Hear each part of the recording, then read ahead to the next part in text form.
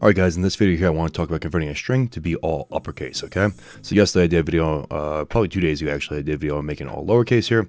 Now let's make it uppercase. Super easy to do. First thing I'm going to do here is I'm going to make a string. I'm going to say string, string 1 equals, and we'll just say hello world.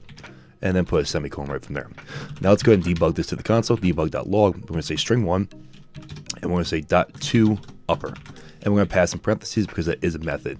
Now, one thing that's important to understand here, this doesn't convert the string here. That just changes it in this statement from here. If I want to change the string entirely here, I'm going to say string 1 equals string 1 dot ToUpper. And then if I debug.log without that method attached, so now they actually changed the variable here, now we should see it as uppercase also here, okay? So we're going to see two uppercase, two capitalized uh, statements here. This one's going to be the pre-convert, and this one's going to be the post-convert, if that makes sense, okay? Let's go ahead and go to Unity here. I believe I had this on something in scene here, the script. It is right there. Let's go to our console. That's from the test run that I did. Let's go ahead and hit play and we can see that these are both capitalized from there, okay?